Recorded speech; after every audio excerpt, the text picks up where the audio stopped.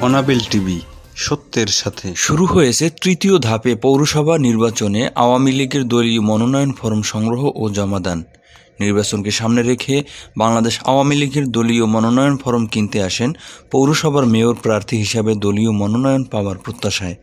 রাজধানীর ধানমন্ডি তিন নম্বরে বাংলাদেশ আওয়ামী লীগের সভানেত্রীর কার্যালয় থেকে এ মনোনয়ন ফরম কেনার পরে প্রার্থীরা দলীয় মনোনয়ন পেলে শতভাগ জয়লাভের আশা করেন এবং নিজ নিজ এলাকায় বঙ্গবন্ধুর স্বপ্নের সোনার বাংলা ও প্রধানমন্ত্রীর ঘোষিত ডিজিটাল বাংলাদেশ গড়ার প্রত্যয় ব্যক্ত করেন।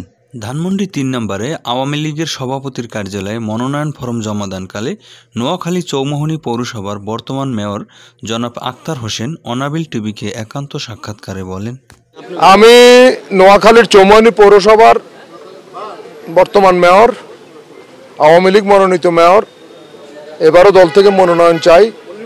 সেজন্যই দলের নিয়ম মোতাবেক এখানে ফর্ম জমা দিতে এসেছি। আশা করি আল্লাহর রহমতে নেত্রী আমাকে নমিনেশন দেবেন নমিনেশন বোর্ড আমাকে মনোনয়ন দেবেন আশা করি।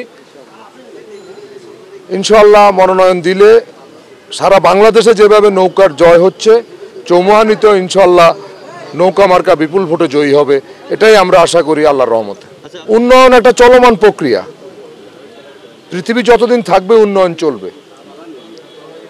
আমরা অনেক কাজ করেছি বিশেষ করে জননেত্রী শেখ হাসিনার নেতৃত্বে বাংলাদেশে আওয়ামী লীগ গত বারো বছর ক্ষমতায় আসার পর বাংলাদেশ বিশ্বের বুকে একটা উন্নয়নের রোল মডেল হয়েছে। আরও অনেক কাজ বাকি আছে। আমরা যে যে সমস্ত কাজ করেছি, সে সমস্ত কাজের উপকার মানুষ পাচ্ছে। আরও কাজ করলে আরও উপকার পাবে। সে লক্ষ্যেই আমরা চাই এলাকার উন্নয়ন করতে, জনগণের সাথে থাকতে। জয় বাংলা, জয় বঙ্গবন্ধু।